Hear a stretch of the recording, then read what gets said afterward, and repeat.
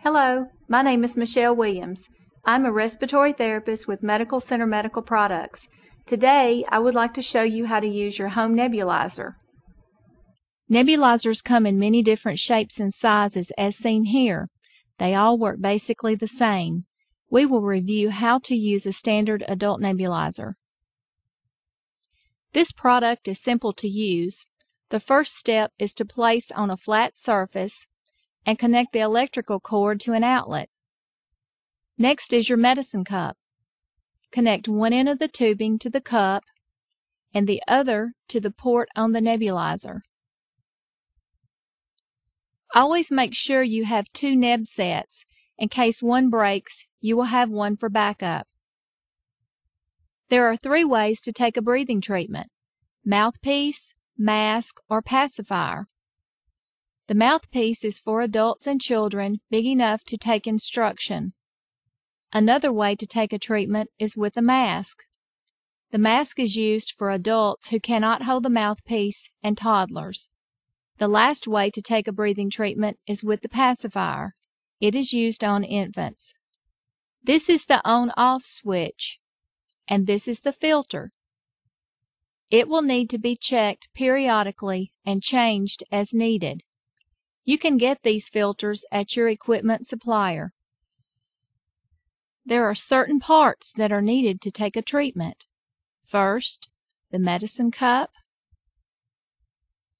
the tee,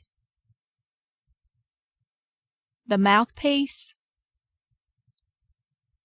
the reservoir hose, and the tubing. When you're ready to take a treatment, pour your medicine in the cup, connect the tubing to the port, and turn the machine on.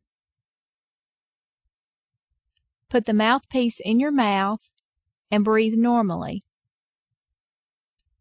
About every fifth breath, take a good deep breath and hold for a few seconds. It will take about 10 to 15 minutes to take a treatment. You will know it is finished when you hear a crackling or popping noise. Your doctor will prescribe your breathing medicine to use in the cups.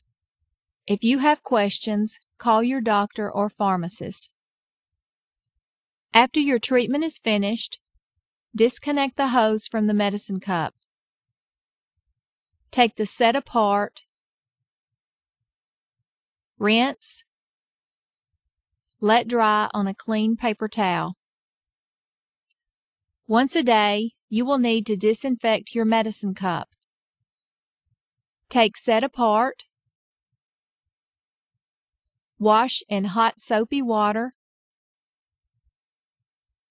Soak one part water and one part distilled white vinegar for 30 minutes. Rinse